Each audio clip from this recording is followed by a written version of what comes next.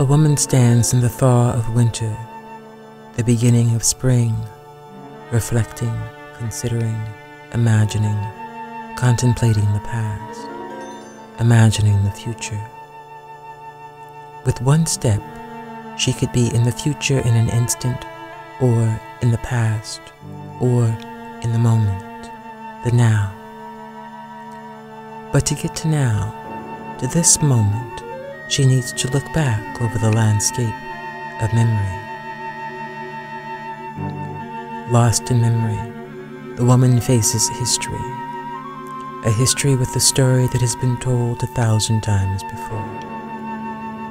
If you look on the horizon, here and there, first seen, now hidden, are little sightings of hope or dreams, of memories.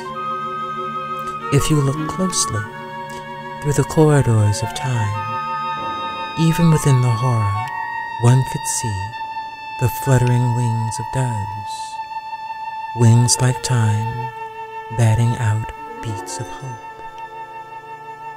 Hope was the thing missed, the thing hoped for. You could almost taste it, but it was just out of reach, just above your head.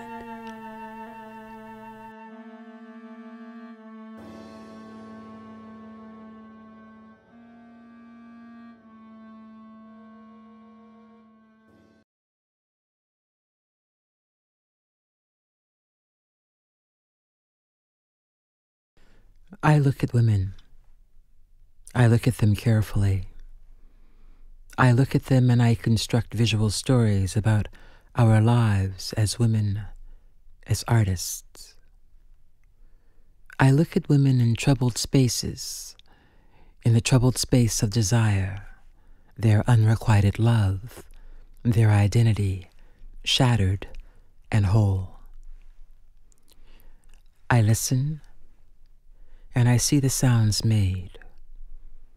I imagine the visual elements. It's an open territory, one with many doors, some leading to paths that dissipate, to women here and there who, on the journey, lost their way home, or who became exhausted by the effort or who failed to understand the true price of the ticket and the related consequences, or who mismeasured themselves, others, and the situation at hand, or who have been refused and denied, mistreated, or who have been driven, if not out, certainly mad. Together, we look into a past that binds us, into a history composed of memories, acts, and deeds. A history often written by others, a history that has left little room for the likes of her. And so she invents. She carves a space for herself in a world dominated by men, men with muscle.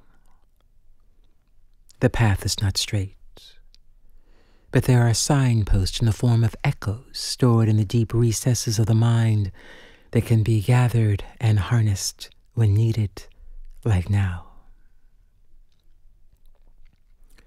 If you focus, you can see it clearly. Your memory, your historical memory, your cultural memory, reinscribing, reinforcing what you know, what you believe, what you imagine, what you want, what you need, what you missed, what you said, what you did, what you heard.